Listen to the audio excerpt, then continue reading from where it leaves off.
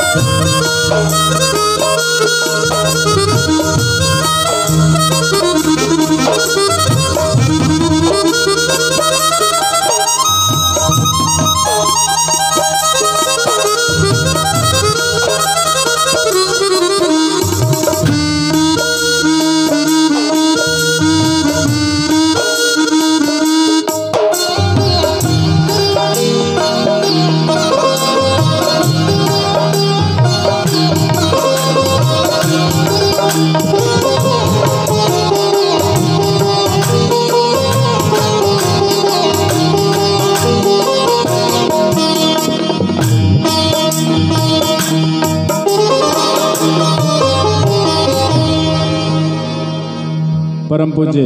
व्यास जी महाराज जी